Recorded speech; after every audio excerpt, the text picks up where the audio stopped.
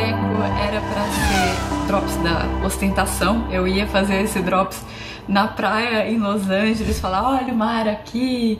Ia pedir pro Sérgio colocar as olhos de Lula do Charlie Brown pra dar o clima, mas tava muito, muito vento. E aí é o, realmente o drops do, do glamour.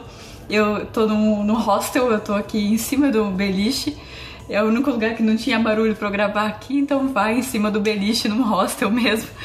É o, o Drops da verdade, da realidade mesmo. É, o, o, assunto de, do Drops dessa semana não, não, tem nada a ver exatamente com o GP dos Estados Unidos que, que tá chegando aí. Na verdade, no GP dos Estados Unidos ou do México, deve ser um desses dois a Fórmula 1 vai coroar o seu novo pentacampeão do mundo, provavelmente, Lewis Hamilton. Com o Hamilton você tem essa geração do Vettel um pouquinho mais velho, dois anos mais velho do que ele. Você tem o Alonso é mais novo do que ele, perdão. Você tem o, o Alonso antes, o, o, Kimi Raikkonen também. É uma geração que ela tá indo embora e tá dando o lugar para uma nova geração que é muito interessante. No ano que vem a gente vai ter, já, já tem o Max Verstappen na Red Bull, vai ter o Pierre Gasly, o Charles Leclerc e o Esteban Ocon. Provavelmente ele vai ficar como terceiro piloto da Mercedes, ainda existe a chance dele ir para Williams, mas pensando lá no, no, do topo, provavelmente a gente vai ter esses quatro pilotos em 2020, se confirmando se o, que o Ocon vai realmente para Mercedes, virar o titular da Mercedes em 2020, a gente vai ter esses quatro pilotos em 2020 em grandes equipes. E são pilotos que eles andaram juntos desde o kart, eles se conhecem muito bem e eram rivais. Eles são rivais e amigos desde o kart. Eu queria traçar um, perfil desse, desses quatro personagens que eu acho eles são muito interessantes.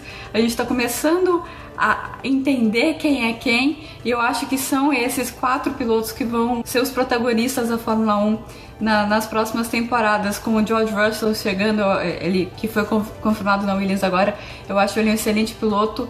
Ele é mais a geração do Lance Stroll, mas o Lance também correu com com, com enfim. Uh, eles são mais ou menos da mesma geração. Acho que o, que o, o George pode chegar junto na, na, Mercedes também depois que o, que o Hamilton se aposentar, se ele realmente se aposentar depois de 2020. Mas focando nesses quatro pilotos, né? A gente tem o Charles Leclerc, ele é o, o nerd da turma. Ele é aquele cara que ele diz sempre as coisas certas nas entrevistas. A equipe ama ele. Ele, quando ele comete algum erro na pista, ele vai pro rádio e fala: Eu cometi um erro assim, assim, assado, e eu não vou fazer de novo. E ele não faz, ele é muito autocrítico. Ele é o, o nerd mesmo da turma, o Charles Leclerc. Uh, depois você tem o Pierre Gasly, outro uh, também de, de, língua francesa. O, Leclerc, a gente, ele é, é, criado pelo automobilismo francês, então a gente coloca como francês, apesar de ele ter nascido em Mônaco. O Pierre Gasly, ele é o amigão de todo mundo. Não tem quem não goste do Pierre Gasly, a não ser o Esteban Ocon, mas eu conto essa história depois.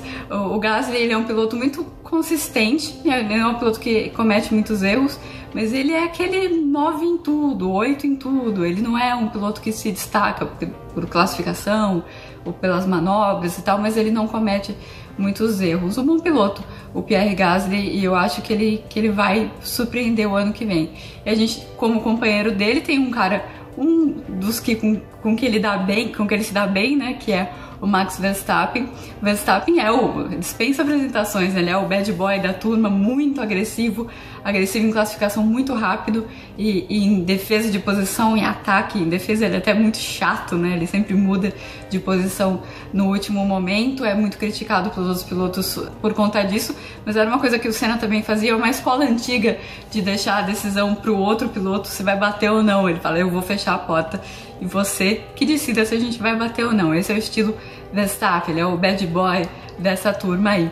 E tem o Esteban Ocon, o Ocon ele é o queridinho do chefe, o queridinho do, do Toto Wolff, isso não adiantou a vida dele, não resolveu a vida dele ainda na Fórmula 1, mas ele é um, é um cara de uma origem mais humilde, é, ele tem essa proteção do Toto, foi importante para ele chegar onde ele chegou, a carreira dele já quase acabou, não é a primeira vez que quase acaba e ele consegue dar uma sobrevida, que ele é um excelente piloto, mas ele é meio esquentadinho também, já mostrou isso algumas vezes. Ele se coloca muitas vezes numa posição de injustiçado, ele é muito hábil com as palavras, consegue convencer os jornalistas a ficar, ficarem falando bem dele. Então o Ocon é um personagem bastante interessante, um personagem meio tinhoso aí nesse, nesse quarteto da Fórmula 1. E acho que vocês estão curiosos por que, que ele não se dá bem com o Gasly. Eles eram muito amigos, eles eram unha e carne, eles eram muito, muito amigos. E não se sabe exatamente o que aconteceu. Alguém foi perguntar pro Gasly se eles eram. Ah, esse é um amigo, Esteban? Não é meu amigo. Mas como assim não é seu amigo? Vocês não eram amigos? Sim, mas eu comecei a, a ganhar muito dele no CAT, ele ficou bravo e ele parou de falar comigo. Aí a gente foi pro Esteban como foi Esteban, o que, que, que aconteceu com, entre você e o Gasly? Ele falou, e, ele falou, por quê? Ele falou o quê? Ele falou isso, isso, isso. Ah, é? Ele falou isso? Eu não vou falar nada. Eu estou sentindo uma treta! Então tem uma treta aí que a gente não sabe exatamente o que é, e talvez nesses próximos anos, se eles realmente se tornarem uh, rivais, talvez isso volte a aparecer e a, o verdadeiro motivo é, apareça, ou se for realmente isso que o Gasly falou que ele era melhor no kart que o, que o Ocon e o Ocon não gostou disso, então que seja. Falando em Gasly, fiz uma entrevista com ele recentemente e perguntei para ele justamente sobre essa época. Falei, vocês, de vocês quatro, na época do kart, quem era o melhor? Seja sincero. E ele pensou, pensou, deu várias voltas, várias voltas para reconhecer que o Max ele era o mais rápido uh, no kart, mas ele falou, ah, ele sempre teve boas equipes e tal e tal. Mas no final, é, é justo eu dizer que o Max foi o mais rápido no kart, mas nas, nas fórmulas, nas categorias de base, eu fui melhor, eu ganhei mais.